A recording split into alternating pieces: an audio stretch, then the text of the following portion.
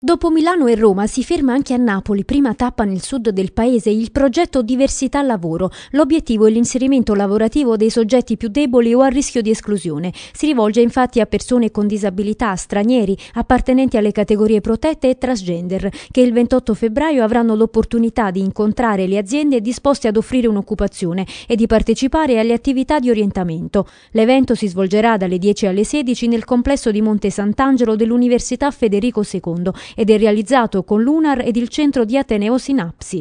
Con diversità lavoro il concetto di fondo è che il talento e il merito devono emergere in azienda nonostante le difficoltà, nonostante la disabilità, nonostante le barriere che vengono dall'essere di origine straniera oppure persone transgender. Dal 2007 Diversità Lavoro ha aiutato circa 300 persone a trovare un impiego. La presentazione del progetto con l'assessore alle pari opportunità Giuseppina Tommasielli è stata anche l'occasione per fare il punto sul fenomeno della discriminazione nei contesti di lavoro in Italia. L'emersione delle denunce, delle segnalazioni che ci pervengono dal 1 gennaio 2012 al 31 ehm, ottobre 2012 e sono del 35,5%, in aumento rispetto all'anno precedente del 15%. Le categorie più penalizzate sono intanto persone di origine straniera, eh, le persone disabili e una nuova categoria che stiamo affrontando che sono i transgender. Accogliamo con grande favore questo progetto, daremo ovviamente tutto il supporto